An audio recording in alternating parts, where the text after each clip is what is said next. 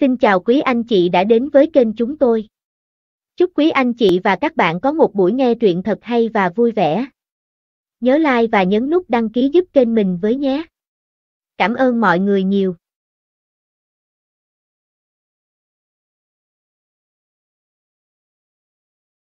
Bây giờ, trên lôi đài này, chỉ còn lại mỗi mình mình, Mạnh Khả và Mạnh Thiên đều không thấy đâu.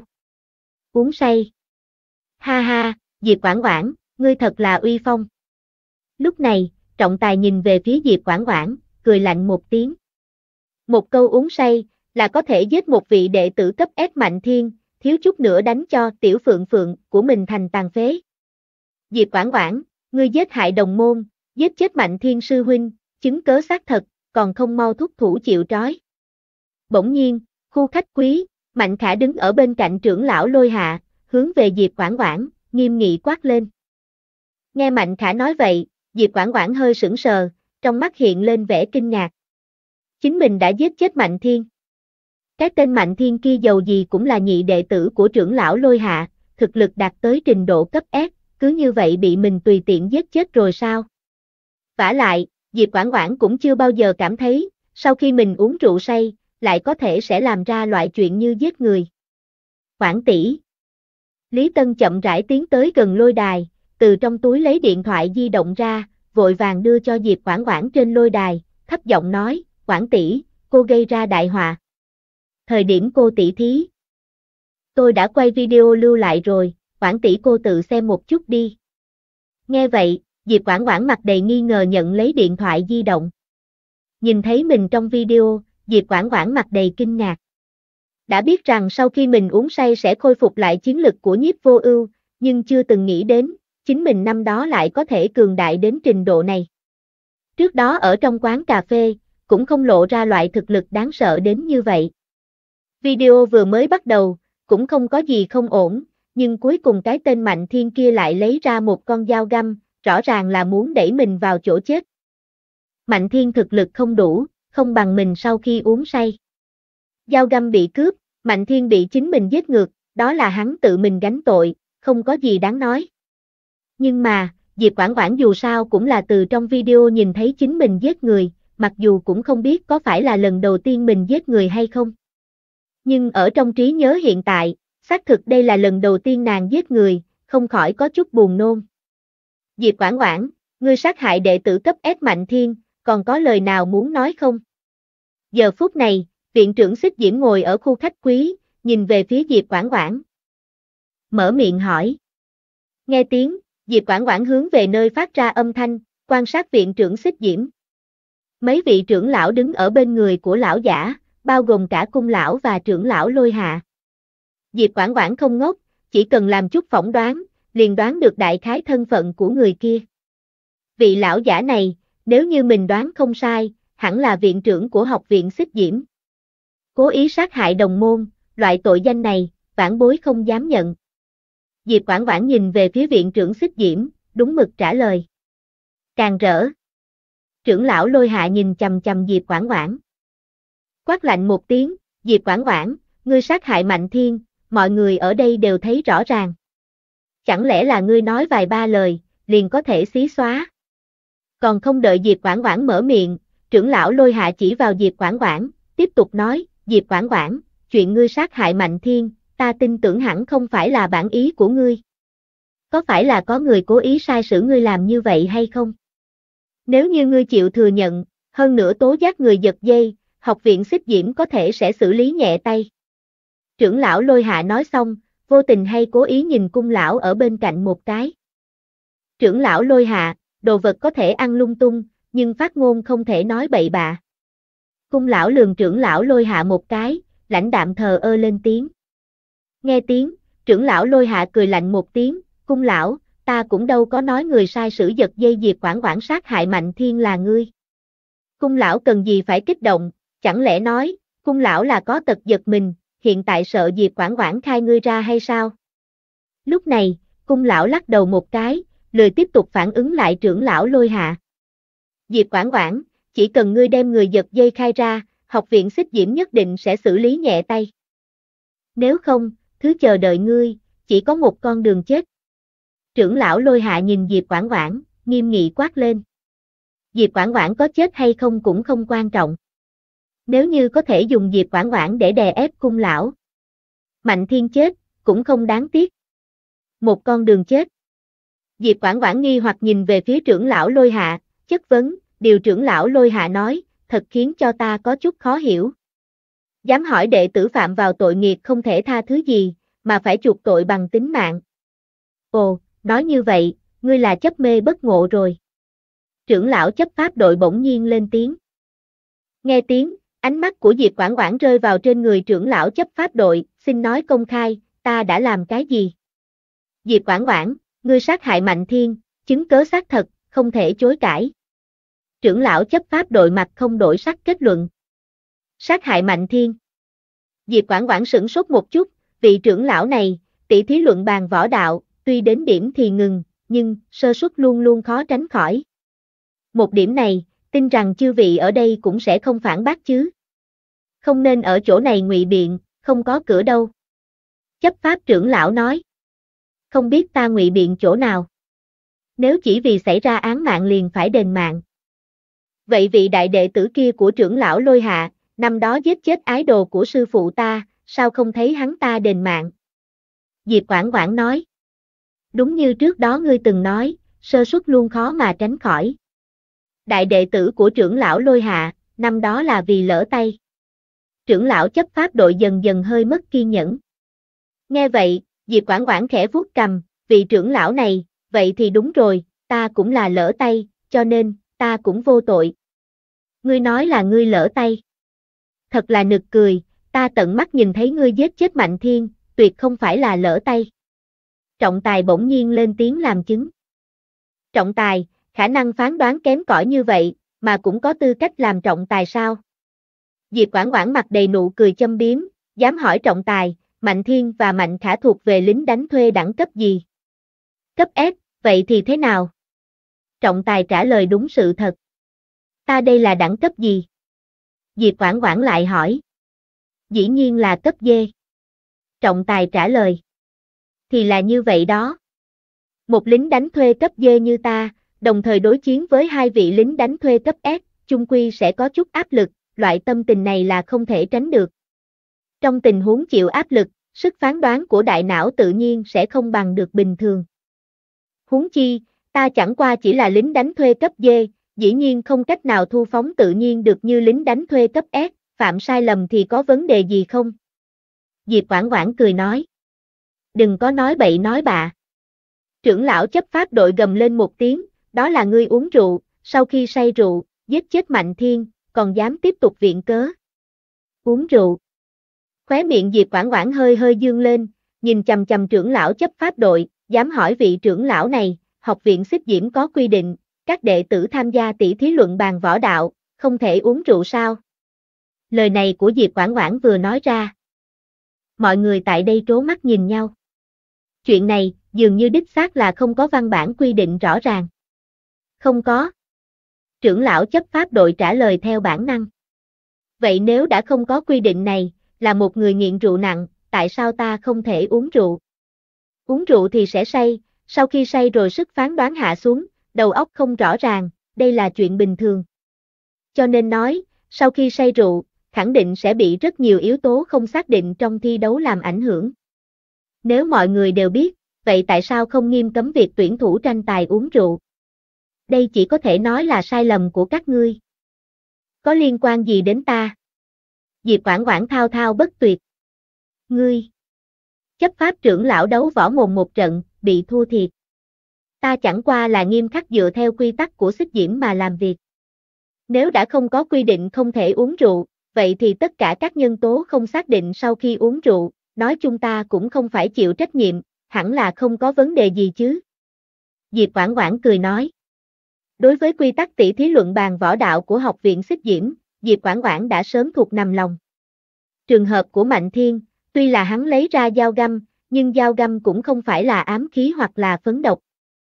Loại binh khí như dao găm cũng được cho phép, cho nên, Mạnh Thiên cũng không hề phạm quy. Cho dù là Mạnh Thiên cố ý muốn giết chết mình, nhưng cũng không thể căn cứ theo đó mà xử Mạnh Thiên có tội.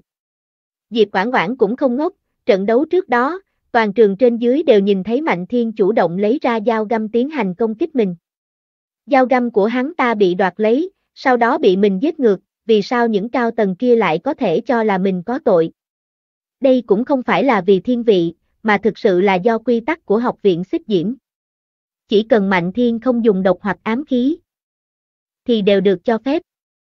Trừ phi, Mạnh Thiên dùng dao găm, công kích mình nhiều lần, sau đó giết chết mình, lúc này mới có thể kết luận là Mạnh Thiên có tội. Nếu đều dựa theo quy tắc của học viện xích diễm để làm việc, đối với Diệp Quảng Quảng mà nói, vậy thì vô cùng dễ xử lý rồi. Học viện xích diễm vô cùng coi trọng quy tắc, vô luận là loại quy tắc nào, chỉ cần Diệp Quảng Quảng tìm ra được chỗ sơ hở của nó là xong. Học viện xích diễm chưa bao giờ có quy định, tuyển thủ ra sân thi đấu không thể uống rượu, mà sau khi uống rượu để xảy ra bất kỳ nhân tố không xác định nào, Diệp Quảng Quảng đương nhiên là có quyền không chịu trách nhiệm. Dù sao nàng chỉ là một lính đánh thuê cấp dê làm việc hoàn toàn dựa theo nguyên tắc mà thôi. Trưởng lão chấp pháp đội nhìn chầm chầm Diệp Quảng Quảng, khóe miệng hơi co rúm lại. Cái tên đệ tử của cung lão này, thật là nhanh mồm nhanh miệng. Càng đấu võ mồm, hắn càng á khẩu không trả lời được. Bất kể như thế nào, chuyện ngươi giết chết Mạnh Thiên là thật. Chấp pháp trưởng lão cao mày mở miệng nói, nghe kết luận như vậy, Diệp Quảng Quảng khẽ mỉm cười, dám hỏi vị trưởng lão này, hung khí mà ta giết chết Mạnh Thiên, là thuộc về người nào? Dao găm kia vốn là chính Mạnh Thiên mang theo, kỹ thuật của hắn không tin. Bị ta giành được, thậm chí bị ta giết ngược. Chuyện này làm sao ta có thể dự liệu được? Mạnh Thiên dù gì cũng là ái đồ của trưởng lão Lôi Hạ, ai có thể đoán được đệ tử của trưởng lão Lôi Hạ đều yếu như vậy. Hai người đánh một mình ta cũng đều không đánh lại, bây giờ còn đi trách ta. Nghe Diệp Quảng Quảng nói vậy, trưởng lão Lôi Hạ đang ngồi ở khu khách quý, sắc mặt âm trầm tột độ, thật giống như có thể chảy ra nước, trong mắt lóe lên hàng quang vô tận. Cung lão thì lại ở một bên cười lạnh không dứt. Diệp Quảng Quảng nói vậy, thật là mát lòng mát dạ. Lôi hạ, chính ngươi dạy dỗ đồ đệ không tốt. Hai tên học viên lính đánh thuê cấp S, đánh một mình đồ nhi Diệp Quảng Quảng của ta. Một đứa bị giết ngược, một đứa trọng thương, hiện tại còn vu oan giá họa, trách tội đồ nhi của ta. Cung lão nhìn lôi hạ một cái, chê bai. Trên trán trưởng lão lôi hạ nổi đầy gân xanh. Từ sau khi vị đệ tử gọi là nhiếp vô ưu của cung lão rời khỏi học viện xích diễm, nhiều năm trôi qua như vậy, vẫn luôn là hắn hung hăng chèn ép cung lão, chưa bao giờ bị làm nhục như thế. Bất kể nói thế nào, ngươi cũng đều đã giết chết học viên cấp S mạnh thiên. Chấp pháp trưởng lão nhìn về phía Diệp Quảng Quảng, lý luận cùng. Tuy là Diệp Quảng Quảng nói có lý, nhưng cũng không thể bởi vì như vậy, liền có thể ân xá tội giết người cho Diệp Quảng Quảng được. Viện trưởng đại nhân, tôi cũng không hề vi phạm bất kỳ quy tắc nào của học viện xích diễm. Cho nên, tôi không thể đồng ý nhận bất kỳ trừng phạt nào. Xin viện trưởng giúp tôi làm chủ. Bỗng nhiên, Diệp Quảng Quảng nhìn về phía viện trưởng xích diễm ở khu khách quý, nhún nhường nói. Nghe Diệp Quảng Quảng nói vậy, viện trưởng xích diễm lâm vào trong trầm tư. Không phạm quy tắc thì không thể định tội. Viện trưởng xích diễm cực kỳ coi trọng quy tắc, hơn nữa, tất cả các quy tắc của học viện xích diễm. Rất nhiều mục đều là do viện trưởng xích diễm đích thân đặt ra. Những gì Diệp Quảng Quảng nói, nói nhanh cho nó vuông là ngụy biện, nhưng cũng có phần nào sự thật. Diệp Quảng Quảng cũng không hề xúc phạm quy tắc, mà là do quy tắc của học viện còn có sơ hở. Viện trưởng, vãn bối có mấy lời, không biết có nên nói hay không? Bỗng nhiên, kỹ tu nhiễm nhìn về phía viện trưởng xích diễm, mở miệng nói. Nghe tiếng, viện trưởng xích diễm khẽ vuốt cầm, hướng về kỹ hoàng đáp, kỹ hoàng không nên khách khí, có lời gì cứ nói thẳng là được. Viện trưởng, đệ tử Diệp Quảng Quảng của học viện xích diễm. Đích xác là đã giết chết một vị lính đánh thuê cấp S, nhưng Diệp Quảng Quảng chỉ là một lính đánh thuê cấp D, đúng như cô ấy nói, lấy một chọi hai, lại còn là hai vị lính đánh thuê cấp S, có lẽ thật sự có chút áp lực. Cho nên, cô ấy mới không thể kiểm soát tốt được kỹ năng trong lúc giao đấu. Hơn nữa, tôi cho rằng, là cái tên mạnh thiên kia nổi sát tâm trước, chỉ tiếc thực lực không đủ, bị Diệp Quảng Quảng giết ngược. Tôi cho là, Diệp Quảng Quảng vô tội. Kỷ tu nhiễm nhẹ giọng cười nói. Kỷ tu nhiễm cũng không nói tới bất kỳ chỗ sơ hở nào của quy tắc. Các quy tắc này dù gì cũng là do viện trưởng xích diễm quy định. Nếu như Kỷ tu nhiễm nhiều lần nói tới quy tắc, ngược lại cũng không mấy giữ thể diện cho viện trưởng. Viện trưởng xích diễm khẽ vuốt cầm, chợt nhìn về phía tu la chủ, mở miệng hỏi, tu la chủ nghĩ như thế nào? Nghe câu hỏi này, nam nhân nhìn về phía viện trưởng xích diễm, chỉ một thoáng trầm tư, lúc này mới lên tiếng, tôi cho là, kỹ hoàng nói đúng. Cung lão, trưởng lão lôi hạ. Toàn bộ lính đánh thuê và các cao tầng của học viện xích diễm trố mắt nhìn nhau. Ở độc lập châu, không phải mọi người đều đồn là kỹ hoàng và tu la chủ như nước với lửa sao. Hai người này, làm sao nhìn? Luôn có cảm giác có chỗ nào đó sai sai. Diệp quảng quảng. Trưởng lão lôi hạ nhìn tu la chủ một cái, chợt thu hồi lại ánh mắt. Hắn làm sao có thể ngờ được hôm nay mời tu la chủ qua đây, đã không giúp mình thì thôi, ngờ đâu lại còn phá đám. Chỉ tiếc, người đàn ông trước mặt này là tu la chủ, mình cũng không có cách nào trở mặt với hắn ta. Hồi lâu sau, viện trưởng xích diễm nhìn về phía Diệp Quảng Quảng trên lôi đài, khẽ vuốt cầm nói, được, Diệp Quảng Quảng, chỉ một lần này mà thôi, lần sau không được phá lệ. Sau này, mỗi một lần tổ chức đại hội luận bàn tỷ thí võ đạo, đều không thể uống rượu. Nghe viện trưởng xích diễm phán quyết, Diệp Quảng Quảng lập tức mỉm cười đáp lại. Lại nói, cái vị viện trưởng xích diễm này quả thực sự là công bình công chính, chịu nói đạo lý. Tiếp tục tỷ thí. Viện trưởng xích diễm tiếp tục mở miệng nói. Diệp Quảng Quảng. Mình cũng không thể uống rượu, vậy thì còn cái gì mà tỷ với trả thí? Nhận thua là được rồi. Từ tình hình trước mắt mà nói, còn dư lại 8 vị lính đánh thuê cấp S, đều có thực lực kinh người. Nếu như mình không uống rượu, căn bản không có bất kỳ cơ hội thắng nào. Một điểm này là không thể nghi ngờ. Diệp Quảng Quảng Trận đánh vừa rồi ngươi đã giành chiến thắng, có thế tiếp tục khiêu chiến. Mãi đến khi nào chiến bại mới thôi. Rất nhanh, trọng tài lên đài, hung ác trợn mắt lường Diệp Quảng Quảng một cái, tuyên bố đầy lạnh lùng. Mối thù giết phượng, không đội trời chung. Không khiêu chiến có được hay không? Diệp Quảng Quảng mở miệng hỏi. Mình đã tiến vào thập cường, có tiếp tục thi đấu hay không, ý nghĩa cũng không lớn. Không được. Đây là quy tắc, ngươi phải tuân thủ. Trọng tài nói. Diệp Quảng Quảng. Đây là ăn thiệt thòi vì quy tắc rồi. Diệp Quảng Quảng bất đắc dĩ, ánh mắt đảo về khu ghế ngồi của thập cường. Tùy tiện chỉ vào một vị lính đánh thuê cấp S, Diệp Quảng Quảng đã dự định sẵn sàng, thời điểm bắt đầu tỷ đấu, chính mình liền trực tiếp dứt khoát nhận thua, đỡ mắt công bị treo lên đánh. Rất nhanh, một vị nam nhân trẻ tuổi từ vị trí thập cường đi xuống, leo lên lôi đài, cùng mặt đối mặt với Diệp Quảng Quảng. Ta! Diệp Quảng Quảng nhìn vị lính đánh thuê cấp S trước mặt, mới vừa muốn mở miệng nhận thua. Trọng tài, tôi nhận thua, không thể đánh được. Nam nhân nhanh hơn Diệp Quảng Quảng một bước, giành quyền lên tiếng. Cậu muốn nhận thua. Trọng tài hơi kinh ngạc nhìn gã đàn ông thân là lính đánh thuê cấp S. Vị học viên này, thực lực so với Mạnh Thiên mạnh hơn quá nhiều, nhưng vừa lên còn chưa đánh đã quả quyết nhận thua. Ừ, nhận thua. Nam nhân nói xong, cũng không thèm liếc mắt nhìn Diệp Quảng Quảng, trong nháy mắt nhảy xuống lôi đài, để lại một mình Diệp Quảng Quảng mặt đầy mộng bức. Diệp Quảng Quảng thắng. Trọng tài chỉ có thể tuyên bố như vậy. Diệp Quảng Quảng, ngươi có thể lựa chọn nghỉ ngơi một lát sau đó khiêu chiến, cũng có thể lựa chọn không nghỉ ngơi. Trọng tài nói. Ta chọn hắn. Lúc này, Diệp Quảng Quảng lại tiếp tục chỉ về phía một gã lính đánh thuê cấp S khác. Nữ nhân này.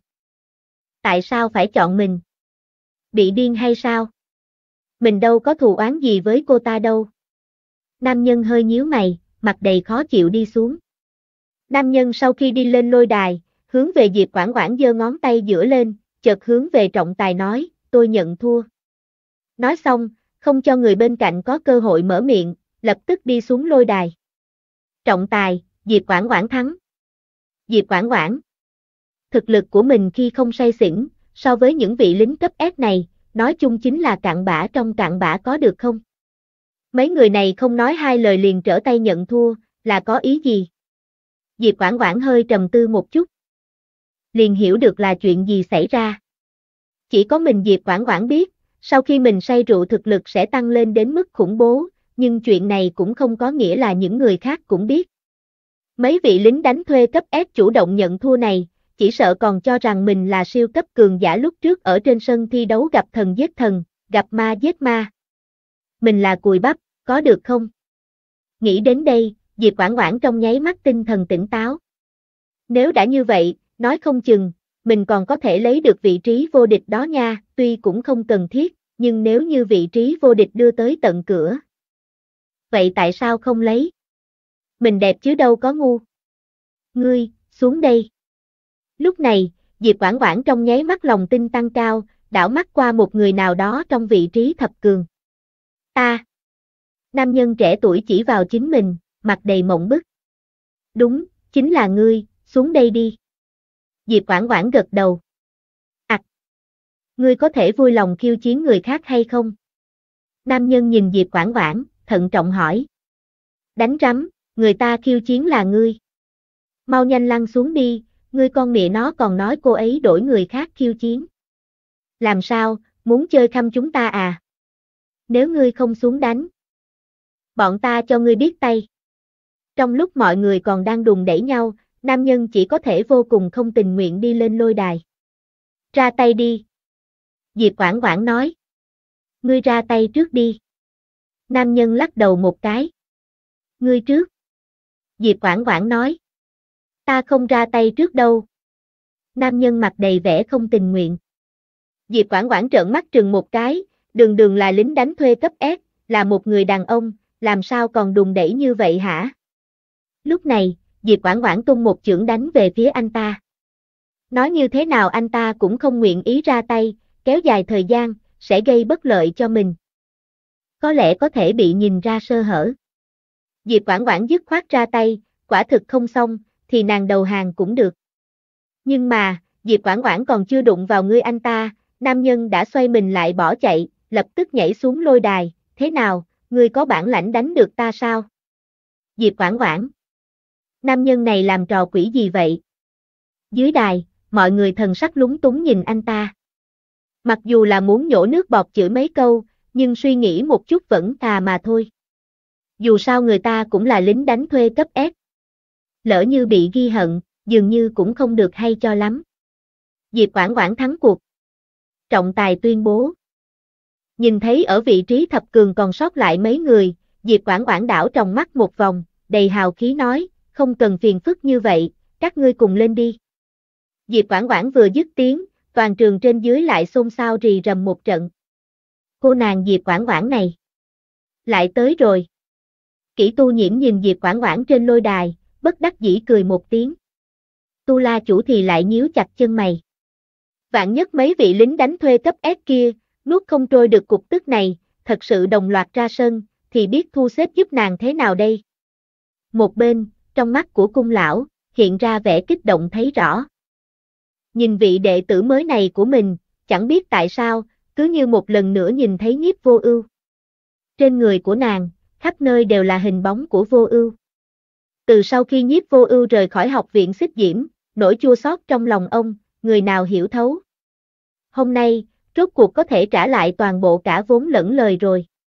Sau lần này, người nào còn dám nói, ông dạy dỗ đệ tử không tốt. Chính cả viện trưởng xích diễm, cũng có chút hăng hái nhìn Diệp Quảng Quảng. Cô bé này, tự hồ có chút ý tứ. Vị trí thập cường, còn lại vài tên lính đánh thuê cấp S trố mắt nhìn nhau. Các vị sư huynh đệ. Người sư muội này, hình như là có chút ý tứ xem thường chúng ta. Một vị lính đánh thuê cấp S trong đám nhìn cao lớn thô kệch, đầy tức giận, hung hăng trợn mắt lườm Diệp Quảng Quảng. Ha ha, cậu thật giống như có hiểu lầm gì đó, phải nói là giữ thể diện cho chúng ta mới đúng. Một vị lính đánh thuê cấp S khác nói. Cái này mà còn phải hỏi lại sao? Cô ấy muốn một mình đánh với toàn bộ chúng ta, nhất định là xem thường chúng ta. Các vị sư huynh đệ, thấy thế nào, đi lên giao lưu với vị sư muội kia chứ?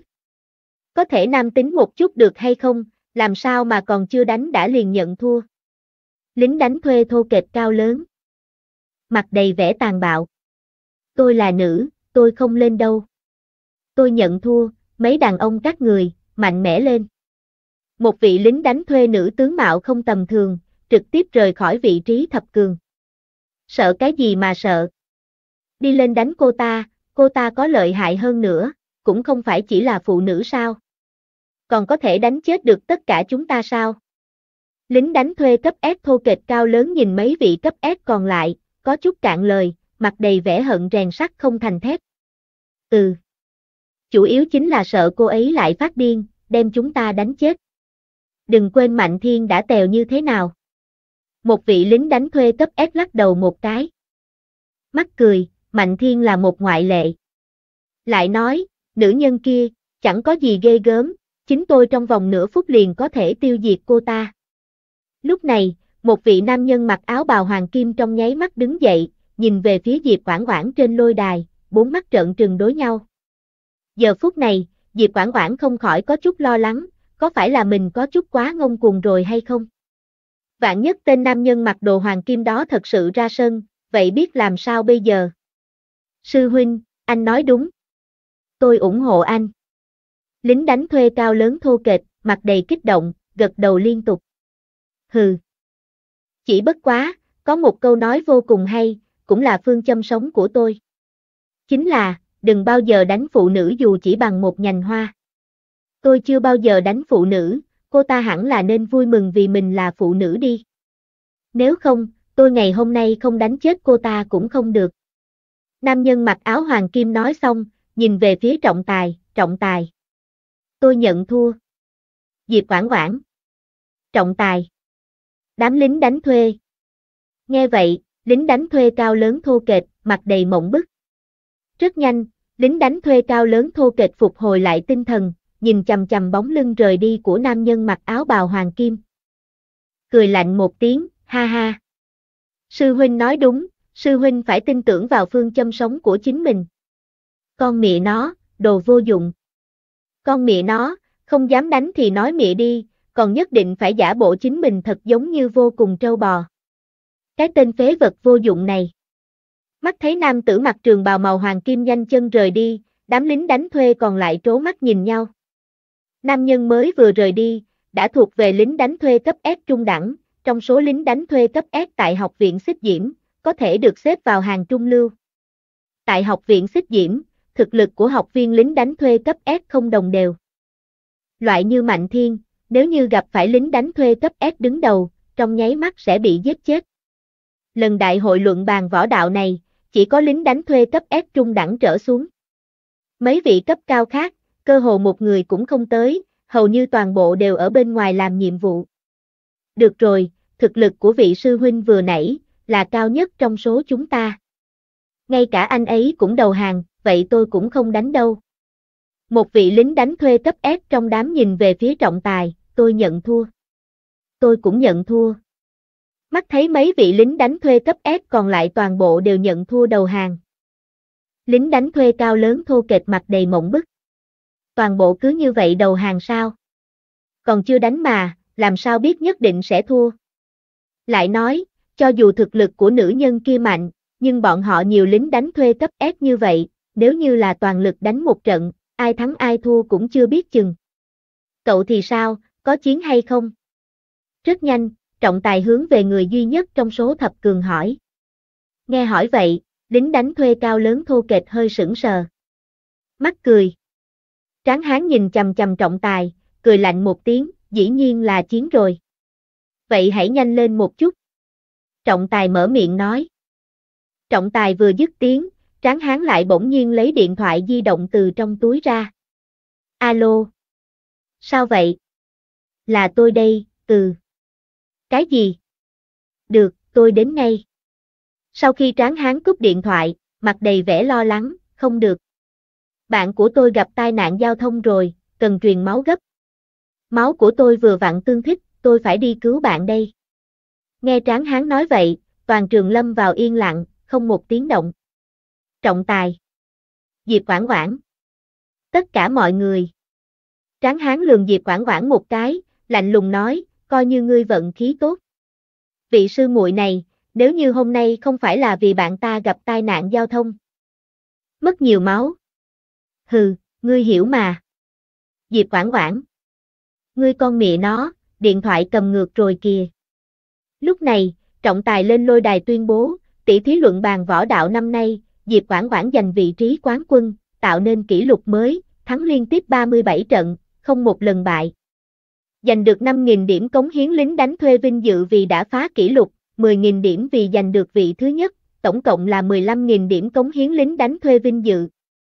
Nghe trọng tài tuyên bố, toàn trường trên dưới là một loạt tiếng xôn xao. Phá kỷ lục. Con bà nó. Bất tri bất giác, Diệp Quảng Quảng lại có thể thắng liên tiếp 37 trận. Không một lần bại, trâu bò. Nhiếp vô ưu năm đó, dường như cũng chỉ có 23 trận toàn thắng, sáng lập ra kỷ lục đầu tiên của đại hội. Bất quá, đại hội năm đó, chất lượng cũng quá cao rồi. Trừ lính đánh thuê cấp S đứng hàng đầu ra, còn có lính đánh thuê cấp SS tham gia. Nhiếp vô ưu đích xác là lợi hại, nhưng vậy thì đã sao? Còn không phải sau đó cũng bị chính em gái nhiếp linh lung của mình vỗ vào trên bờ cát hay sao? Sư phụ của nhiếp vô ưu là cung lão, sư phụ của nhiếp linh lung chính là trưởng lão lôi hạ. Năm đó sau khi cung lão dạy ra một vị nhiếp vô ưu, thật là uy phong bậc nào. Sáng lập quá nhiều kỷ lục của học viện lính đánh thuê xích diễm. Nhưng tiếc là, sau đó đều bị nhiếp linh lung phá. Không sai, nhiếp vô ưu so với nhiếp linh lung, cũng có chênh lệch không nhỏ mới đúng. Không nghĩ tới, đệ tử cung lão mới thu, lại có thể phá vỡ kỷ lục của nhiếp linh lung. Con bà nó, nhiếp linh lung là 28 trận, Diệp Quảng Quảng là 37 trận. Đem so cô nàng Diệp Quảng Quảng đó với nhiếp linh lung sao? Các người nói đùa sao? Năm đó nhiếp linh lung tham gia tỷ thí luận bàn, lính đánh thuê cấp SS tới tham gia nhiều vô số kể. Chất lượng học viên tới tham gia của hai lần là hoàn toàn khác nhau. Có hiểu không? Lui 10.000 bước mà nói, Diệp Quảng Quảng không phải chỉ mới phá vỡ được có một kỷ lục thôi hay sao, nói chung vẫn chẳng có căn cứ gì để so sánh. Những thứ như số lượng nhiệm vụ cấp S, lượng điểm cống hiến lính đánh thuê, thành tựu nhiếp linh lung đạt được gần như là truyền kỳ vô địch tại học viện xích diễm, không thể lay động. Khu khách quý, rất nhiều cao tầng học viện xích diễm nhìn về phía Diệp Quảng Quảng trên lôi đài, không khỏi gật đầu khen ngợi. Chợt, một bộ phận cao tầng đi tới bên cạnh cung lão, trên mặt là nụ cười toe toét, lên tiếng chúc mừng. Ha ha, cung lão. Chúc mừng ông thu nhận được một vị đệ tử tiềm lực 10 phần. Bây giờ vẫn chỉ là cấp dê, lại có thể càng quét đại hội tỷ thí võ đạo năm nay. Cung lão, ông thật khiến cho mọi người cực kỳ hâm mộ nha.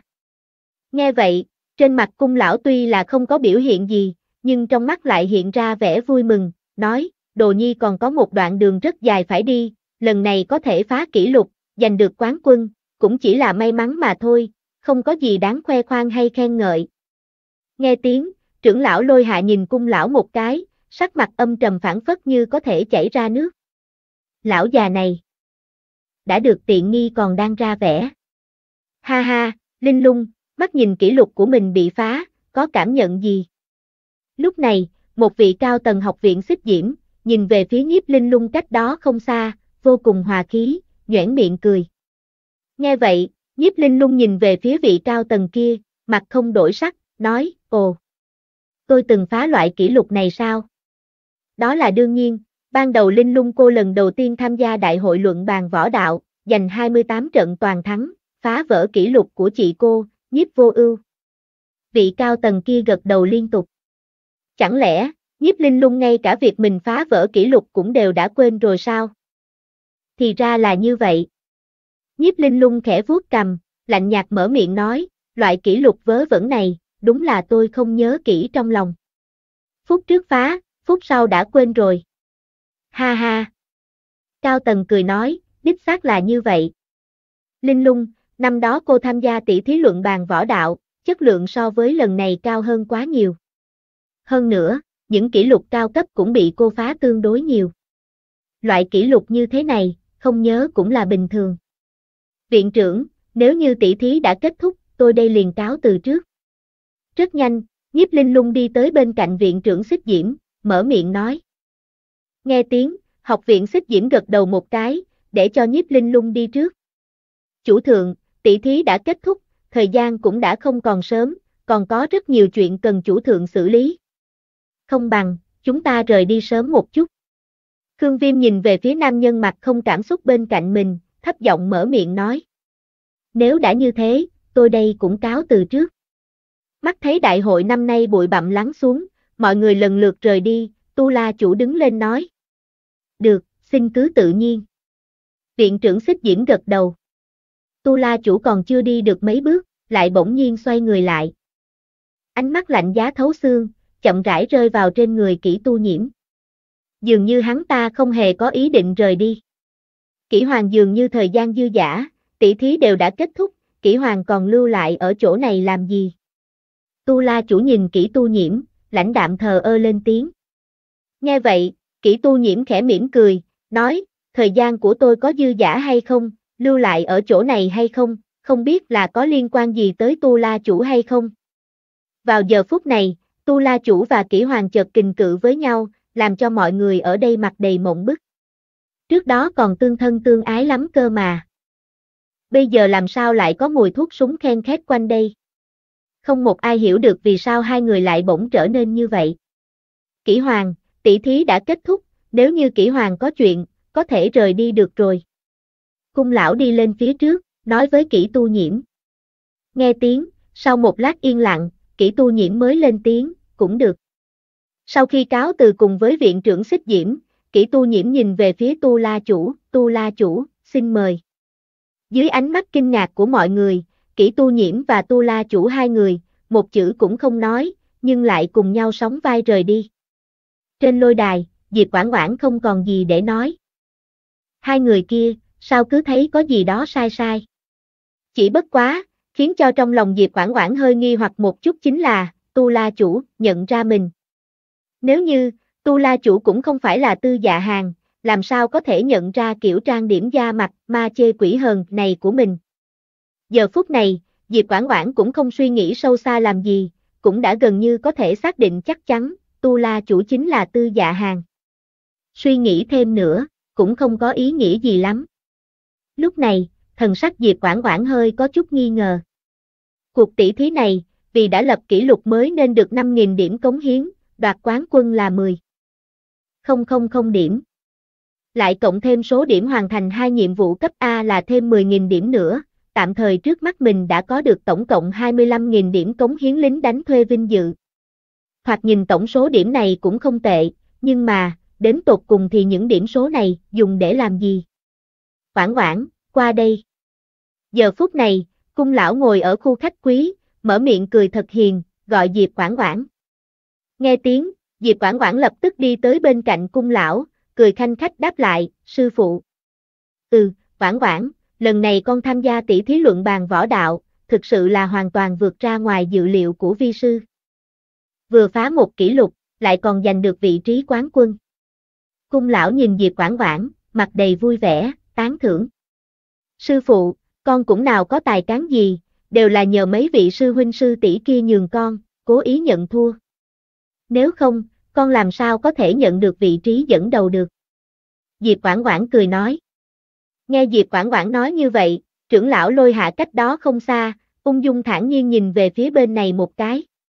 Cuối cùng mấy người kia là nhường Diệp Quảng Quảng, nhưng còn đồ đệ của hắn, một người bị Diệp Quảng Quảng đánh chết, một người bị Diệp Quảng Quảng đánh cho trọng thương.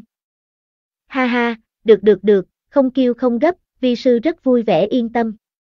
Cung lão mở miệng cười. Còn không đợi Diệp Quảng Quảng tiếp tục nói gì, cung lão lại tiếp lời, Quảng Quảng, bây giờ con đã có được 25.000 điểm cống hiến lính đánh thuê, đã có thể tăng cấp bậc lính đánh thuê của mình rồi. 25.000 điểm, có thể dễ dàng thăng cấp lên cấp A. Nghe cung lão giải thích, Diệp Quảng Quảng lúc này mới hiểu được, tại học viện xích diễm, muốn trở thành lính đánh thuê đẳng cấp cao, hưởng thụ đãi ngộ cực cao, trừ việc thực lực bản thân cần xứng đáng ra, cần phải có đủ điểm cống hiến. 25.000 điểm có thể thăng lên làm lính đánh thuê cấp A. Còn cấp S thì cần có 50.000 điểm cống hiến. Dĩ nhiên, nếu như thực lực của bản thân chưa đủ, muốn lấy được đủ số lượng điểm cống hiến, là chuyện không tưởng. Thông thường, chỉ khi hoàn thành nhiệm vụ cấp A đỉnh cấp, cũng bất quá chỉ nhận được mấy ngàn điểm lính đánh thuê vinh dự mà thôi. Nếu như có đủ thực lực, liền có thể càng quét bản nhiệm vụ. Việc trở thành cấp A hoặc cấp S, cũng không mấy khó khăn. Mà điểm cống hiến lính đánh thuê vinh dự, ngoài việc dùng để thăng cấp bậc ra, còn có quá nhiều tác dụng khác. Tỷ như, có thể nhờ viện trưởng xích diễm giúp mình chế tạo vũ khí. thuê những học viên cực kỳ cao cấp của học viện xích diễm, tại học viện xích diễm, điểm cống hiến lính đánh thuê vinh dự, đại biểu cho hết thảy.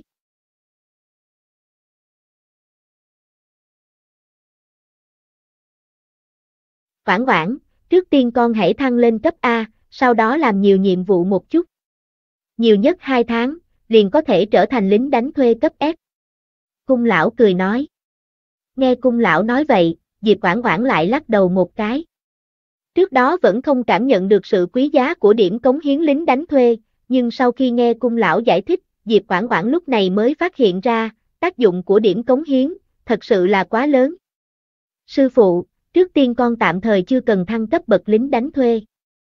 Diệp Quảng Quảng sau một thoáng trầm tư, lúc này mới nói với cung lão. Con nói cái gì?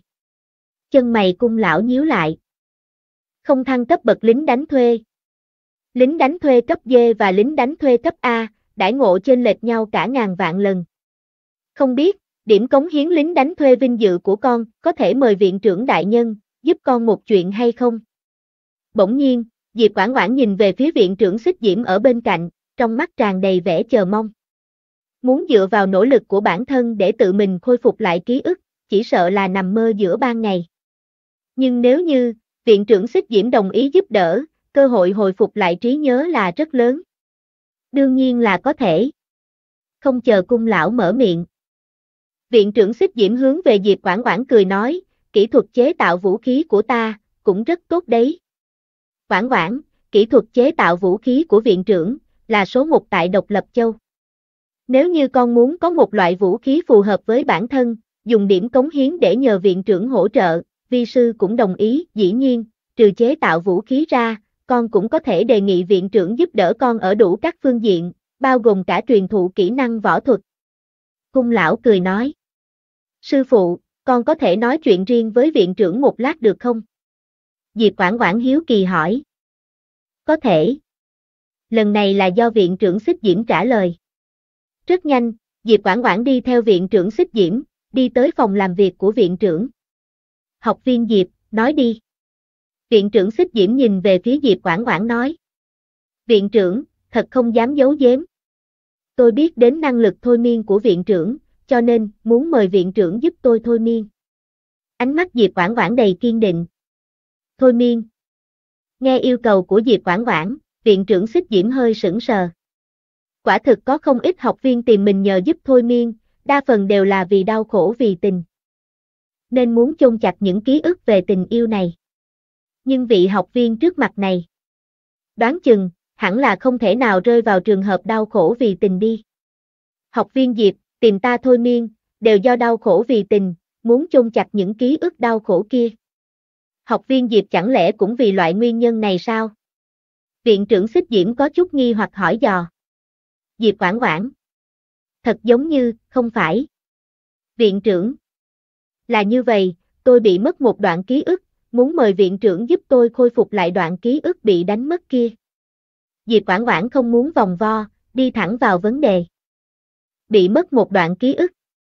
Nghe tiếng, chân mày viện trưởng xích diễm hơi hơi nhướng lên. Đang êm đẹp, làm sao lại bị mất ký ức được cơ chứ? Cho nên, học viên Diệp muốn dùng điểm cống hiến để cho ta sử dụng thuật thôi miên, xem thử có thể khôi phục lại đoạn ký ức kia của cô hay không. Viện trưởng xích diễm như có điều suy nghĩ. Đúng vậy. Chính là ý này. Diệp Quảng Quảng gật đầu liên tục. Học viên Diệp, trước tiên cứ nằm xuống đã. Viện trưởng xích diễm để cho Diệp Quảng Quảng nằm trên ghế salon. Viện trưởng xích diễm ngồi ở bên cạnh Diệp Quảng Quảng, thật giống như đang tán gẫu cùng với Diệp Quảng Quảng. Sau đó, lấy ra một chiếc đồng hồ bỏ túi kiểu phục cổ. Ở dưới sự chỉ đạo của viện trưởng xích diễm, Diệp Quảng Quảng nhìn chầm chầm cây kim chỉ dây của đồng hồ bỏ túi, hơn nữa không ngừng trả lời một số câu hỏi của viện trưởng xích diễm đưa ra. Không biết qua bao lâu, dường như chỉ một chớp mắt trôi qua, lại cũng giống cả một thế kỷ dài vô tận. Diệp Quảng Quảng đầu óc mê mang, đã mất đi ý thức. Trong lúc nửa mê nửa tỉnh, Diệp Quảng Quảng phản phất như nhìn thấy chính mình trở về lại lúc còn tấm bé. Cạnh dòng suối nhỏ, một vị lão nhân khí tức thập phần cao cao tại thượng. Mặt đầy uy nghiêm, chậm rãi đi tới bên cạnh cô bé, hơi hơi không người xuống, ôm cô bé vào trong ngực. Ông ngoại. con nhớ cha mẹ rồi, con muốn trở về nhà. Trong đôi mắt trong suốt của cô bé, hiện ra một lớp sương mù trôi lãng đảng. Nhưng mà, ông lão lại lắc đầu một cái, nhìn về phía cô bé, thần sắc nghiêm túc, mở miệng nói, cha mẹ của con đã sớm chết rồi. Sau này, con đi theo ông ngoại, nương tựa lẫn nhau, không cần tiếp tục suy nghĩ về cha mẹ của mình, có biết không? Không. Ông ngoại, con nhớ cha mẹ. Lớp sương mù trong mắt cô bé hóa thành nước mắt, tí tách rơi. Ông lão không để ý tới cô bé nữa. Ông lấy cô bé nhanh chân đi về phía trước. Hồi lâu sau, lúc này ông lão mới lên tiếng, nói, vô ưu, con nhớ kỹ, ông ngoại đặt tên cho con là vô ưu, là hy vọng con vĩnh viễn vui vẻ sung sướng, không buồn không lo. Mà cha mẹ của con, căn bản không xứng làm cha mẹ. Nhất là mẹ của con, lại vì cha con, tình nguyện đối nghịch cùng với ta. Vô ưu, con nói xem, bọn chúng bất trung bất hiếu, bất nhân bất nghĩa như vậy, có tư cách gì mà làm cha và mẹ của con? Ngày sau, không nên nhắc lại bọn chúng, con cứ coi như là bọn chúng chết hết rồi.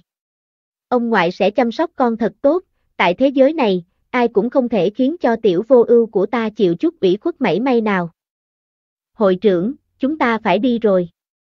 Chỉ chốc lát sau, mấy người đàn ông trung niên tới chỗ này, nhìn ông lão, thần thái ngữ khí cực kỳ cung kính, đón cô bé và ông lão vào trong xe. Đang lúc này, đầu của Diệp Quảng Quảng bỗng cảm thấy vô cùng tê liệt đau đớn. Hình ảnh chuyển đổi, toàn thân nàng toàn máu tươi, quỳ ở trên mặt đất, trong mắt hiện ra nỗi hoảng sợ và thần sắc không cách nào tin tưởng được. Đó là một loại cảm giác tuyệt vọng và bất lực làm cho người ta khó mà tin được, dường như so với việc thế giới bị hủy diệt, còn đáng sợ hơn. A. À, Diệp Quảng Quảng thét lên một tiếng đầy kinh hãi. Đột nhiên mở hai mắt nhắm chặt ra, từ trên ghế salon nhảy dựng lên một cái. Vào giờ phút này, toàn thân Diệp Quảng Quảng đã bị mồ hôi lạnh thấm ướt sũng, từ đầu đến chân, đến quần áo, thật giống như mới bò ra từ trong chung nước vậy. Cảm giác làm người ta tuyệt vọng và hoảng sợ đến cực hạn này, vẫn còn lẫn quẩn ở trong đầu Diệp Quảng Quảng không tan biến.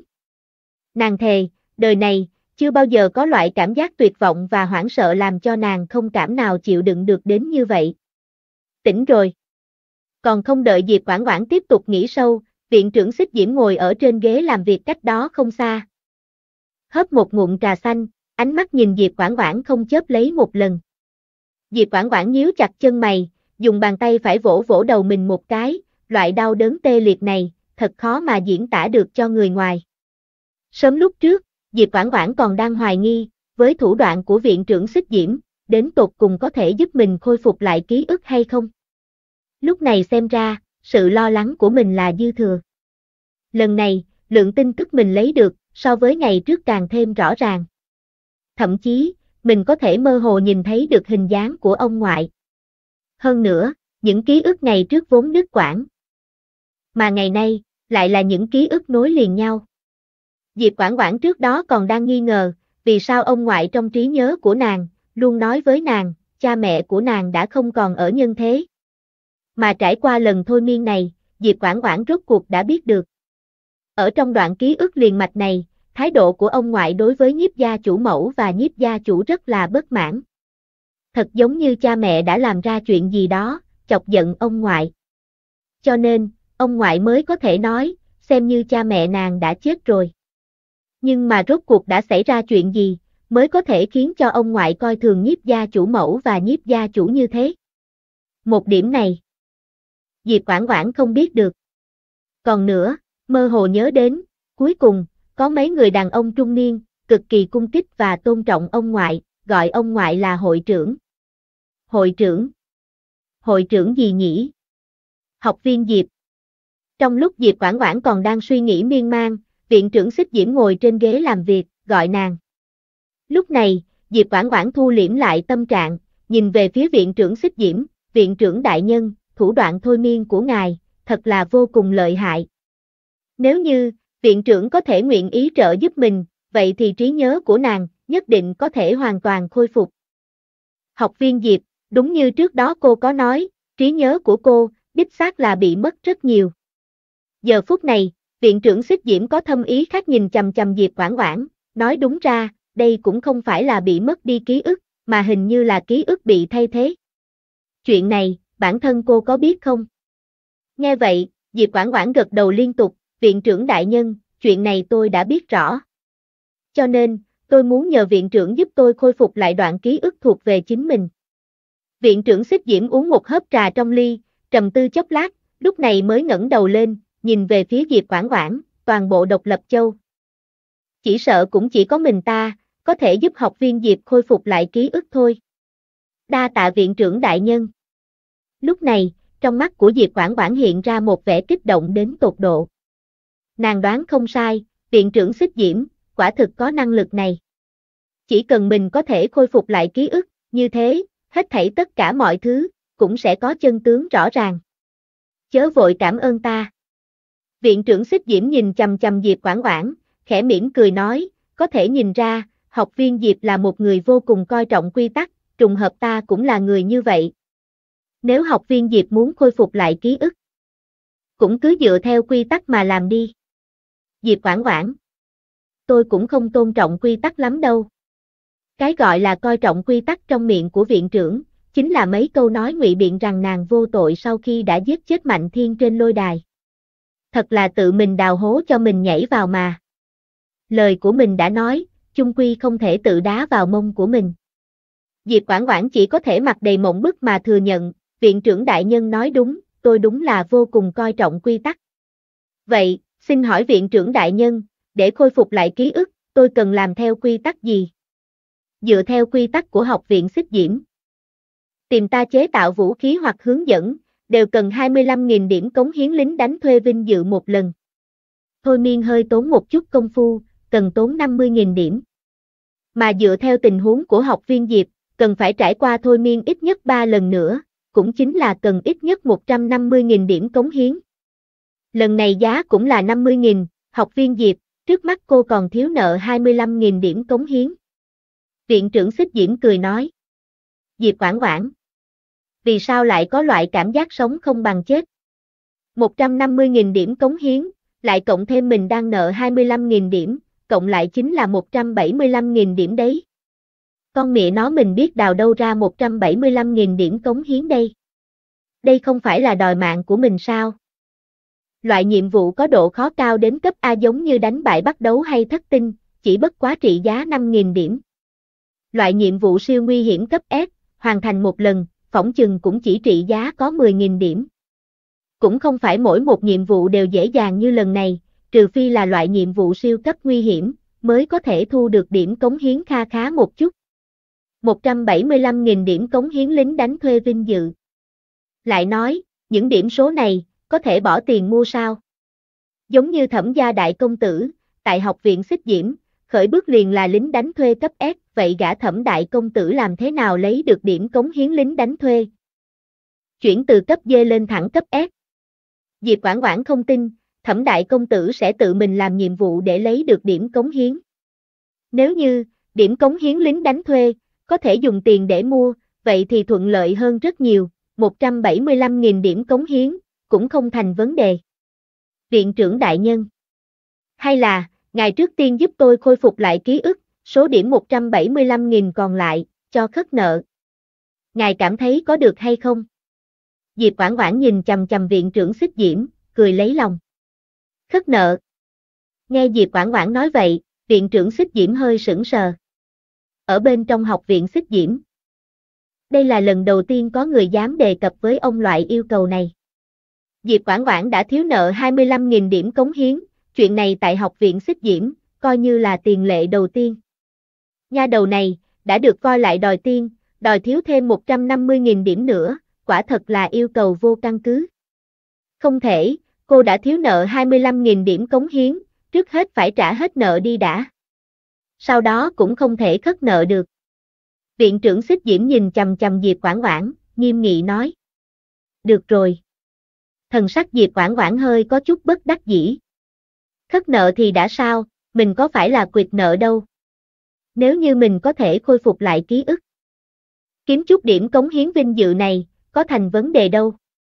Diệp Quảng Quảng vốn định báo cho viện trưởng, chính mình đến tột cùng là ai, nhưng sau khi cẩn thận suy nghĩ trong chốc lát, Diệp Quảng Quảng vẫn quyết định giữ lại. Thân phận của mình, nàng cũng không muốn báo ngay cả sư phụ cung lão, chỉ sợ sẽ gây ra những tranh chấp không cần thiết. Chỉ chốc lát sau, Diệp Quảng Quảng đứng dậy, cáo từ viện trưởng xích diễm. Việc cần thiết trước mắt, vẫn là phải đi gom nhiều điểm cống hiến của học viện xích diễm một chút. Chỉ cần 175.000 điểm, liền có thể khôi phục lại ký ức của mình. Rất nhanh. Diệp Quảng Quảng rời khỏi phòng viện trưởng, nhanh chân đi về khu phân phối nhiệm vụ. Giờ phút này, chung quanh khu phân phối nhiệm vụ, đã sớm đông nghìn nghiệp toàn người là người. Hai ngày nay lại có thêm không ít nhiệm vụ mới, hơn nữa, điểm khen thưởng sau khi hoàn thành nhiệm vụ, cũng hết sức không tệ. Con bà nó. Diệp Quảng Quảng đến rồi. Lúc này, mấy vị lính đánh thuê cấp A đang tán gẫu, sau khi nhìn thấy Diệp Quảng Quảng nhanh chân đi về phía này, toàn bộ đều sửng sốt. Từ sau đại hội tỷ thí luận bàn võ đạo năm nay, Diệp Quảng Quảng có thể nói là nhất chiến thành danh. Bây giờ ở bên trong học viện xích diễm. Nói chung cũng có danh tiếng không nhỏ. Diệp Quảng Quảng tỷ. Sau khi nhìn thấy Diệp Quảng Quảng, mấy vị lính đánh thuê cấp A lập tức xẹt tới trước mặt Diệp Quảng Quảng, ai ai cũng nhiệt tình như lửa cháy. Thấy vậy, Diệp Quảng Quảng mặt đầy mộng bức. Sau khi đi tới học viện xích diễm, đừng nói những vị lính đánh thuê đẳng cấp cao này, coi như là những vị lính đánh thuê cấp C, cũng chưa từng bao giờ cấp thể diện cho nàng như vậy. Quả nhiên, tại loại địa phương như Độc Lập Châu, cho dù là bên trong học viện lính đánh thuê, cũng đều dựa vào thực lực để nói chuyện. Không có thực lực, cũng sẽ không một ai phản ứng lại với mình. Nhưng nếu cho thấy có đủ thực lực, lại hoàn toàn bất đồng. Quảng Quảng tỷ, cô thật là lợi hại, hai tên Mạnh Thiên và Mạnh Khả đó, quả thật là chính là súc sinh. Quảng Quảng tỷ đánh chết Mạnh Thiên, làm trọng thương Mạnh Khả, quả là giúp cho người người sảng khoái.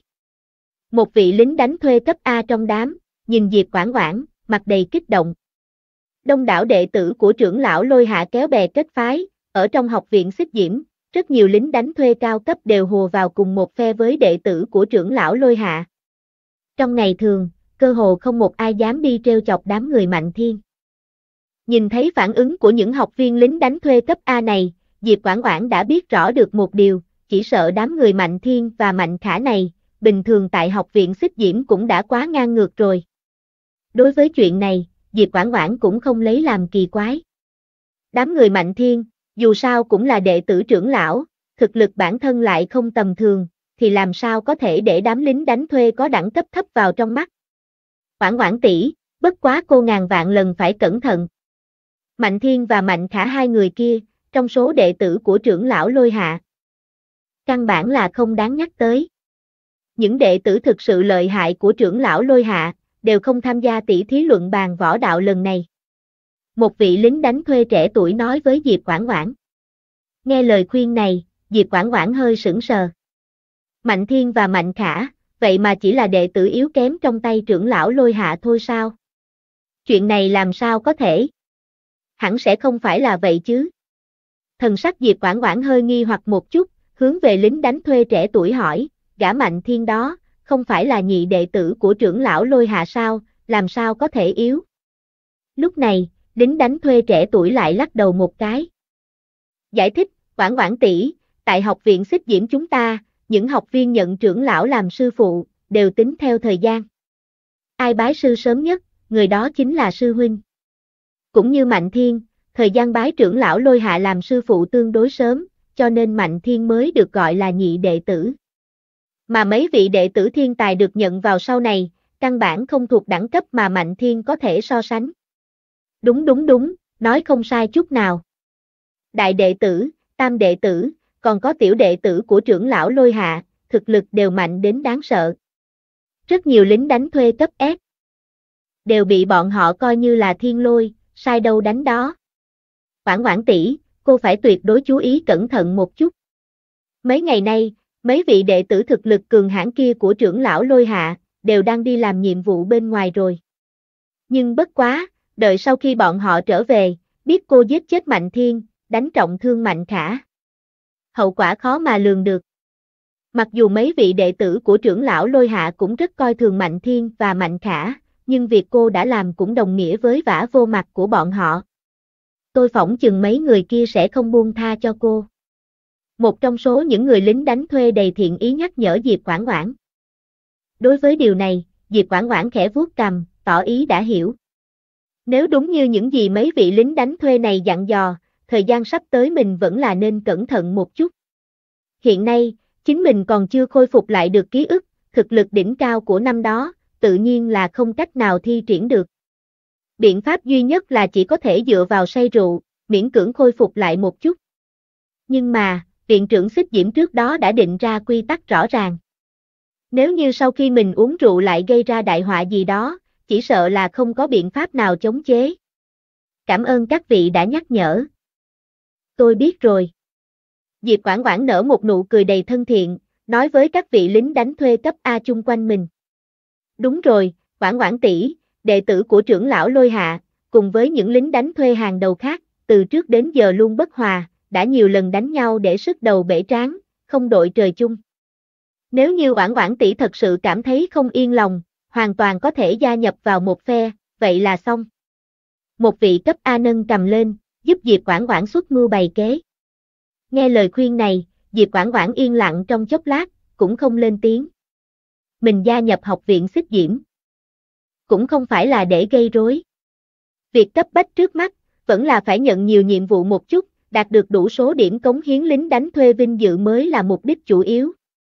Chia bè kéo phái gì gì đó, Diệp Quảng Quảng không có chút hứng thú nào, cũng cho là không cần phải như thế. Quảng Quảng tỷ, bây giờ cô đang tới nhận nhiệm vụ sao? Rất nhanh, một vị lính đánh thuê cấp A nữ, nhìn chầm chầm Diệp Quảng Quảng, mặt đầy hiếu kỳ. Đúng vậy, muốn tiếp nhận một số nhiệm vụ có điểm cống hiến cao. Diệp Quảng Quảng gật đầu một cái, nói rõ mục đích. Quảng Quảng tỷ, cô muốn trực tiếp chạy nước rút lên cấp S sao? Vị lính đánh thuê nữ hơi có chút khó hiểu nhìn Diệp Quảng Quảng. Theo lý thuyết, số điểm cống hiến Diệp Quảng Quảng nhận được, đã đủ cho nàng lên tới cấp A, nhưng mà giờ phút này, trang phục Diệp Quảng Quảng mặc, vẫn là đồng phục lính đánh thuê cấp D, cấp thấp nhất của học viện xích diễm. Cô hỏi Quảng Quảng tỷ nhiều như thế để làm cái gì? Đừng có tò mò chuyện riêng của người khác như vậy. Quảng Quảng tỷ không sử dụng điểm cống hiến để thăng cấp, vậy khẳng định là có dụng ý riêng của Quảng Quảng tỷ. Một lính đánh thuê cấp A trong đám nói. Nghe vậy, lính đánh thuê cấp A nữ lườm người đó một cái. Cái tên nịnh bợ này. Trong lúc nói chuyện, Diệp Quảng Quảng đã đi về phía trước. Mấy vị lính đánh thuê cấp A thì lại đi theo sau lưng Diệp Quảng Quảng. Sau khi thấy Diệp Quảng Quảng xuất hiện tại khu phân phối nhiệm vụ của học viện xích diễm, không ít lính đánh thuê bốn phía rối rít tụng đầu lại quan sát Diệp Quảng Quảng. Ồ! Diệp Quảng Quảng! Con bà nó! Tôi mới vừa làm nhiệm vụ quay trở lại, đã nghe nói nhị đệ tử của trưởng lão lôi hạ, bị một vị đệ tử cung lão mới thu nhận giết chết. Nghe nói đệ tử mới của cung lão tên là Diệp Quảng Quảng, sẽ không phải là cô ấy đấy chứ. Còn có thể không phải là cô ấy sao? Chỉ là một lính đánh thuê cấp dê. Ở trên lôi đài cuồng lộng đến cực hạn, nhất định đòi lấy một chọi hai, đồng thời chống lại Mạnh Thiên và Mạnh Khả hai vị học viên cấp S. Kết quả, Mạnh Thiên bị cô ấy giết tại chỗ, Mạnh Khả bị trọng thương. Mấy chục trận đấu không một lần bại, phá vỡ kỷ lục của nhiếp linh lung sư tỷ về số trận thắng liên tục, lại còn đoạt giải quán quân. Hung tàn như vậy. Cậu không có mặt ở đó, chỉ có khi chứng kiến tận mắt mới hiểu cái gì gọi là hung tàn. Sau khi nhìn thấy Diệp Quảng Quảng đi tới nơi này, nguyên bản mọi người vốn đang rì rầm xôn xao, liền vội vàng ngậm miệng lại.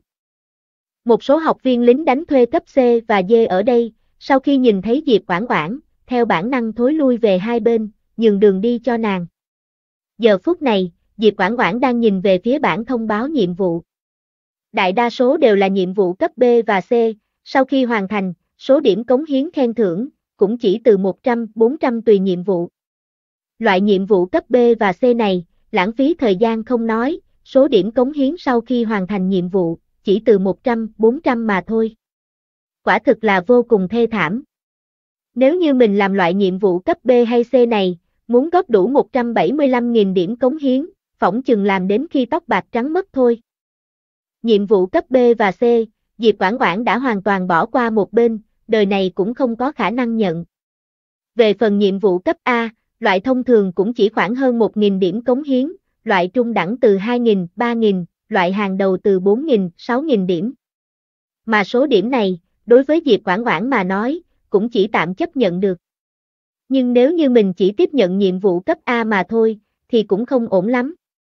Giả sử như tính trung bình 2.500 điểm một nhiệm vụ, nếu như mình muốn gom đủ 175.000 điểm, Diệp Quảng Quảng cần phải hoàn thành 70 nhiệm vụ cấp A, nếu như chỉ làm nhiệm vụ cấp A. Khẳng định là không thực tế. Muốn gom đủ số điểm cống hiến lính đánh thuê, hơn nữa còn trong thời gian ngắn, vậy chỉ có thể hoàn thành những nhiệm vụ cao cấp, cấp S, cấp S, thậm chí là nhiệm vụ cấp SS. Mà những nhiệm vụ này, đối với Diệp Quảng Quảng giai đoạn hiện tại, lại có độ khó quá lớn.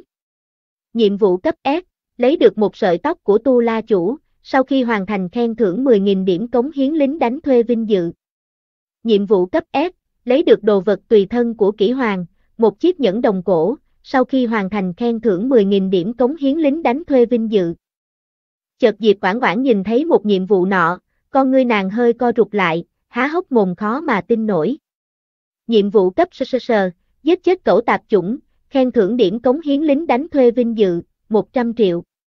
Diệp Quảng Quảng trợn tròn mắt, đếm lại mấy lần, xác định mình không hề đếm sai, 100 triệu. Vào giờ phút này, Diệp Quảng Quảng nuốt nước miếng một cái. Nhiệm vụ cấp sơ sơ sơ, chưa bao giờ nghe, trước giờ chưa từng thấy. Đây chẳng lẽ là một cấp bậc nhiệm vụ mới, có độ khó được thiết lập dành riêng cho dịch thủy hàng tại độc lập châu sao? Còn nữa, 100 triệu điểm cống hiến lính đánh thuê vinh dự là cái quỷ gì? Thế này cũng quá khoa trương rồi. Chỉ bất quá, loại nhiệm vụ cấp sơ sơ này, theo Diệp Quảng Quảng là thập phần hài hước. Tại độc lập châu, ai có thể giết chết cẩu tạp chủng dịch thủy hàng?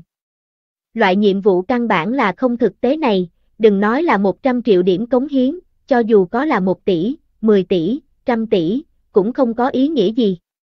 Diệp Quảng Quảng sau một thoáng trầm tư, bước nhanh về phía trước, ngay trước mắt mọi người, tiện tay xé xuống ba tờ giấy niêm phong. Nhiệm vụ cấp S, lấy được tóc của Tu La Chủ, sau khi hoàn thành nhiệm vụ khen thưởng 10.000 điểm cống hiến lính đánh thuê vinh dự. Nhiệm vụ cấp S, lấy được đồ vật tùy thân của kỹ hoàng. Một chiếc nhẫn đồng cổ, sau khi hoàn thành khen thưởng 10.000 điểm cống hiến lính đánh thuê vinh dự. Nhiệm vụ cấp A, đi Hoa Quốc, đánh tan nhóm lính đánh thuê đào ngũ, nhận được 5.000 điểm cống hiến lính đánh thuê vinh dự. Hai nhiệm vụ liên quan tới tu la chủ và kỹ tu nhiễm rất đáng tiền, nếu như có thể hoàn thành, trong nháy mắt nàng liền có 20.000 điểm cống hiến rồi. Diệp Quảng Quảng nghĩ tới đây, có chút vui thích trong lòng. Khen thưởng của nhiệm vụ cấp A mặc dù có hơi ít, nhưng bất kể như thế nào, con ruồi có nhỏ đi nữa thì cũng là thịt. Mà mình thì đằng nào cũng phải sớm trở về Hoa Quốc. Có thể mượn cớ này và tiện đường làm nhiệm vụ luôn. Thời hạn đến nửa năm của vụ án mạng kia, đã không còn bao nhiêu thời gian. Hành trình quay trở lại Hoa Quốc, phải càng nhanh càng tốt, đã không còn có biện pháp tiếp tục trì hoãn nữa rồi. Cha Diệp Thiệu Đình, và Diệp Mộ Phàm còn lại không nhiều thời gian. Bọn họ còn đang đợi mình. Trừ chuyện của cha Diệp Thiệu Đình và Diệp Mộ Phàm cần giải quyết ra, còn có chuyện khác cũng cần nàng xử lý sớm. Mà trừ Diệp gia ra, còn phải nhìn một chút xem hiện tại tư gia rốt cuộc là có chuyện gì xảy ra. Khiến cho Diệp Quảng Quảng có chút không cách nào hiểu được chính là Nếu như Tu La chủ thật sự là tư dạ hàng, rõ ràng sẽ biết được tình hình của tư gia. Với năng lực của Tu La chủ, hoàn toàn có thể dùng một ngón tay đem bọn phản loạn tư gia nghiền thành cạn bã. Vì sao anh ta lại thờ ơ không động lòng? Người bên cạnh thì không nói. Tu La chủ không thèm quan tâm, Diệp Quảng Quảng có thể hiểu được. Nhưng mà thời điểm Diệp Quảng Quảng ở tại Hoa Quốc từng nghe rằng tình cảnh của bà nội cũng không được ổn lắm. Nếu như Tu La chủ là tư dạ hàng mà nói, vì sao ngay cả bà nội mình mà anh ta cũng chẳng thèm ngó ngàng gì tới. Không quan tâm tới bà nội ruột của chính mình, Diệp Quảng Quảng quả thực có chút không cách nào hiểu nổi. Trong lúc Diệp Quảng Quảng còn đang trầm ngâm, chung quanh lại rối loạn tưng bừng. Con bà nó. Tử thần sư huynh trở lại rồi. Trời đất, trận chiến này. Người kia chính là tử thần sư huynh của học viện xích diễm chúng ta. Toàn bộ học viện xích diễm, chỉ sợ rằng danh tiếng của tử thần sư huynh là lớn nhất rồi đi. Nào chỉ là tử thần, anh ta còn là người thừa kế một trong tứ đại thế gia độc lập châu, thẩm gia đại công tử. Trong tứ đại thế gia độc lập châu, thẩm gia là thế gia đặc thù nhất. Gia tộc này dựa vào tài phú kinh người mà hô phong hoáng vũ tại Độc Lập Châu. Mà Tam Đại học viện của Độc Lập Châu. Cơ hồ đều có liên hệ mật thiết cùng với thẩm gia. Vô luận là học viện xích diễm, hay là học viện tinh dương, đều được thẩm gia dùng tiền bạc tài trợ. Thẩm gia chủ có hai đứa con trai, một đứa con gái, phân biệt học tập tại Tam Đại học viện lính đánh thuê. Mà thẩm gia đại công tử, học tại học viện xích diễm. Ở trong Tam Đại học viện lính đánh thuê, trừ những vị lính đánh thuê hàng đầu có thực lực khủng bố ra, thì người không thể trêu chọc nhất, chỉ còn lại ba vị đại lão của thẩm gia mà thôi. Vào giờ phút này, mấy vị lính đánh thuê cấp S hàng đầu canh giữ ở bên cạnh thẩm gia đại công tử. Chỉ thấy thẩm gia đại công tử mặt đầy vẻ ngạo nghễ, ngẩng đầu ưỡn ngực, khí thế bừng bừng, hùng dũng oai vệ nhanh chân đi về bên này. Diệp Quảng Quảng mặt đầy mộng bức nhìn thẩm gia đại công tử. dáng điệu này, quả thực là không nhỏ nha. Tử thần sư huynh. Sau khi nhìn thấy thẩm gia đại công tử, Trương Tác Niên bỗng nhiên vọt ra, trực tiếp đi thẳng về phía hắn ta. Nhưng mà, còn không đợi Trương Tác Niên đến gần thẩm đại công tử, một vị lính đánh thuê cấp S hàng đầu lại đột nhiên bước ra, ánh mắt đầy lạnh giá, cao cao tại thượng nhìn chầm chầm Trương Tác Niên, lạnh lùng nói. Nghe vậy, Trương Tác Niên hơi sững sờ, liền vội vàng lên tiếng nói, vị sư huynh này, hiểu lầm. Tôi và tử thần sư huynh là bằng hữu. Trương Tác Niên vừa dứt tiếng, lính đánh thuê cấp S hàng đầu nhìn về thẩm gia đại công tử ở sau lưng, ông chủ. À không, tử thần sư huynh, ngài có quen tên học viên lính đánh thuê cấp C này sao? Nghe tiếng, thẩm gia đại công tử nhìn chầm chầm trương tác niên, sau một thoáng trầm tư, mở miệng nói, ngươi tên là gì? Tử thần sư huynh, là tôi đây. Tôi tên là Trương Tác Niên. Trước đó, anh còn từng khen tôi đấy. Từng khen ngươi. Thẩm gia đại công tử liếc nhìn Trương Tác Niên một cái, vậy ngươi còn nhớ? Ta khen ngươi như thế nào không? À! Tử thần sư huynh, lúc đó anh nói, tôi thật đúng là một con tiểu quỷ lưu manh. Trương Tác Niên suy nghĩ một chút, trả lời đúng sự thật. Ồ! Ta nhớ ra rồi. Thẩm gia đại công tử gật đầu một cái, nói đi, tìm ta có chuyện gì? Tử thần sư huynh, trước đó không phải là anh nhờ tôi giúp anh canh chừng kỹ lưỡng gã mạnh thiên sao? Trương Tác Niên cười xuề xòa lấy lòng. Trước đó vài ngày, bởi vì Mạnh Thiên lên tiếng kiêu ngạo, cho nên đắc tội với thẩm đại thiếu gia. Cho nên, thẩm đại thiếu gia mới để cho một gã lính đánh thuê cấp C giúp mình canh chừng nhất cử nhất động của Mạnh Thiên. Chờ sau khi anh hoàn thành nhiệm vụ của mình ở ngoài, mới trở về thu thập Mạnh Thiên. Tiểu quỷ lưu manh, con chó chết Mạnh Thiên kia trốn ở chỗ nào, hôm nay tử thần sư huynh của ngươi nhất định phải chơi chết hắn. Thẩm gia đại công tử nói xong, đảo mắt nhìn qua các vị lính đánh thuê cấp S đứng hàng đầu ở chung quanh mình, các vị ca ca, không thành vấn đề gì chứ. Nghe thẩm gia đại công tử nói vậy, một vị lính đánh thuê cấp S hàng đầu trong đám cười lạnh một tiếng, mặt đầy vẻ khinh thường, ông chủ. Không. Tử thần sư huynh, ngài yên tâm đi, cái loại lính đánh thuê cấp ép bất nhập lưu giống như mạnh thiên này. Tôi có thể dùng một ngón tay bóp chết hắn.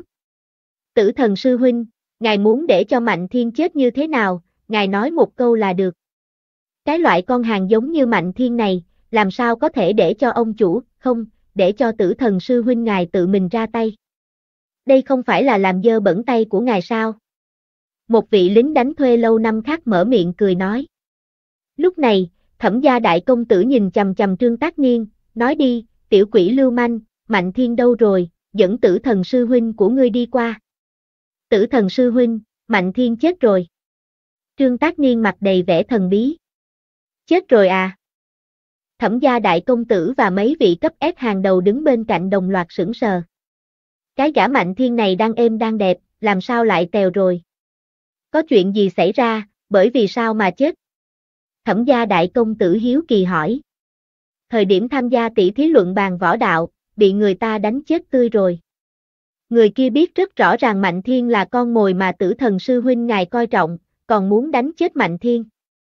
Đây rõ ràng chính là không cấp mặt mũi cho tử thần sư huynh ngài. Đánh chết Mạnh Thiên là chuyện nhỏ, không nể mặt tử thần sư huynh là chuyện lớn. Trương Tác Niên vội vã tố cáo. Lúc này, sắc mặt của thẩm đại công tử nhất thời đen xuống, nhìn Trương Tác Niên, là ai đánh chết Mạnh Thiên? Tử thần sư huynh, người đó là một cô gái, gọi là Diệp Quảng Quảng, phách lối vô cùng. Phỏng chừng cho tới bây giờ cô ta đều không thèm để ngài ở trong mắt. Trương Tác Niên thêm mắm thêm muối. Ông chủ. Không, tử thần sư huynh, theo cách nói của gã tiểu quỷ lưu manh này, cái cô nàng Diệp Quảng Quảng đó, quả thực là không lưu lại chút mặt mũi nào cho ngài. Nếu không tìm cho ra cô ta, rồi đánh cho một trận thì làm sao mà coi cho được. Một vị lính đánh thuê cấp S hàng đầu nói với thẩm đại công tử. Thẩm đại công tử trầm tư chốc lát, chợt lạnh lùng nói, tiểu quỷ lưu manh, cái người gọi là Diệp Quảng Quảng đó ở đâu, tìm cô ta giúp ta. Vào giờ phút này, mọi người quanh đây thần sắc bất đồng. Cái tên trương tác niên này thật đúng là gian manh như cáo, vài ba lời liền khiến cho tử thần sư huynh ghi thù Diệp Quảng Quảng. Chẳng trách tử thần sư huynh gọi hắn ta là tiểu quỷ lưu manh. Chỉ bất quá, bị vị thẩm đại công tử này ghi thù cũng chẳng có gì thú vị cả. Tại học viện xích diễm, đắc tội ai cũng không thể đắc tội thẩm gia đại công tử. Không ít lính đánh thuê cao cấp nhìn về phía Diệp Quảng Quảng. Trong mắt tràn đầy vẻ thương hại. Chỉ sợ là lần này Diệp Quảng Quảng gặp phải xui xẻo rồi. Tử thần sư huynh, cô ta chính là Diệp Quảng Quảng. Bỗng nhiên, Trương Tác Niên chỉ thẳng về phía Diệp Quảng Quảng. Lúc này, thẩm gia đại công tử và mấy vị lính đánh thuê cấp S hàng đầu bên cạnh, đồng loạt nhìn về phía Diệp Quảng Quảng. Tướng mạo vị sư muội này, vô cùng có cá tính. Bên cạnh thẩm đại công tử, một vị lính đánh thuê cấp S sau khi hướng về Diệp Quảng Quảng quan sát mấy lần, gật đầu một cái, nói đầy thâm ý, cô ta chính là người đã giết chết Mạnh Thiên, Diệp Quảng Quảng. Lại còn là con gái. Thật đúng là không thể chỉ đánh giá người khác bằng tướng mạo. Một bên, Trương Tác Niên hướng về Diệp Quảng Quảng, khóe miệng khẽ nhếch lên, trên mặt là nụ cười đầy lạnh giá.